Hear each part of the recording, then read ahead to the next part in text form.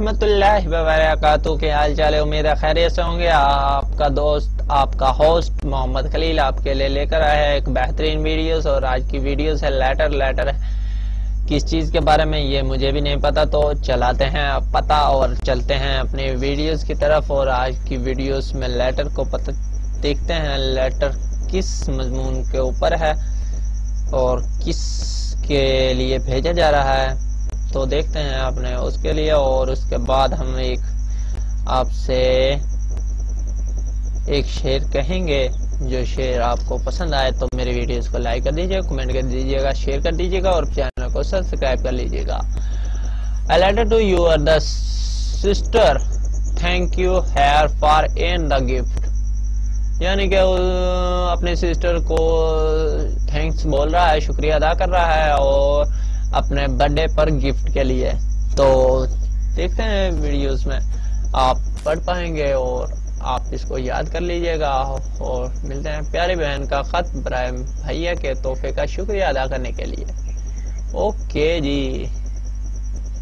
تو دیکھ پاتے ہیں کہ سسٹر کے لیے بھائیے کے دل میں کتنی گہرائی تھی جس نے آپ کو گفٹ میں عطا کی اور آپ اس کو یاد کیجیے لائک کیجیے کمنٹ کیجیے اور ساتھ ہی میں آپ کو ایک شیئر عرض کرتا ہوں۔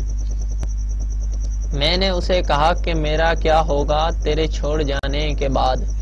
میں نے اسے کہا کہ میرا کیا ہوگا تیرے چھوڑ جانے کے بعد؟ اس نے ہنس کر کہا کہ لاوارث اکثر مر جایا کرتے ہیں۔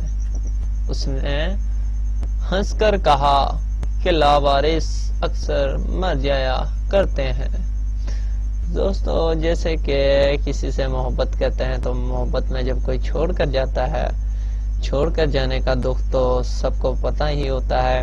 خاص کر ہمارے پاکستان میں تو اتنا نہیں ہے، لیکن خاص کر انڈیا میں جو اس محبت کے پیاروں کو جس طرح ذلیل و خوار کیا جاتا ہے، یہ آپ سوشل میڈیا پر کہیں پر بھی آپ اس کو دیکھ سکتے ہیں، اتنا ظلم کیا جاتا ہے۔ ویسے انہوں نے، انڈیا والوں نے ہمارے لیے ایک ایسا کیا کہ اندرا گاندھی نے، اندرا گاندھی تھی اس نے، اندرا گاندھی سے جنہیں کس نے کہا تھا کہ ہم اس کو، ان کو جنگ سے مارتے ہیں۔ اندرا گاندھی نے بس کیا کہا ہم سے؟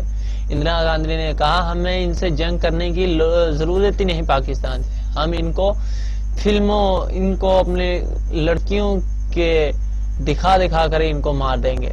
لیکن ان کو یہ نہیں پتا تھا کہ پاکستانی ایک قوم، مسلم قوم ہے۔ پاکستان کا نام کس چیز پر رکھا گیا ہے، ان کو یہ نہیں معلوم تھا۔ ان کو صرف یہ پتا تھا کہ عوام ہے، یہ انسان ہے، صرف لوگ ہیں۔ لیکن ان کو یہ نہیں پتا دل میں کیا ہے ان کے۔ دل میں ہمارے پاکستان چھپا ہوا ہے۔ انڈیا والوں ہم آپ کو عزت دینا چاہتے ہیں، لیکن آپ کو عزت پسند نہیں۔ کہتے ہیں نا کہ ایک محاورہ ہے کہ جو لاتوں سے لاتوں کے بھوت باتوں سے نہیں مانتے۔ یہی بات ہے کہ انڈیا والے باتوں سے نہیں مانیں گے اب لاتوں سے مانیں گے۔ جو لاتوں کے بھوت ہیں، وہ باتوں سے کہاں ماننے والے ہیں؟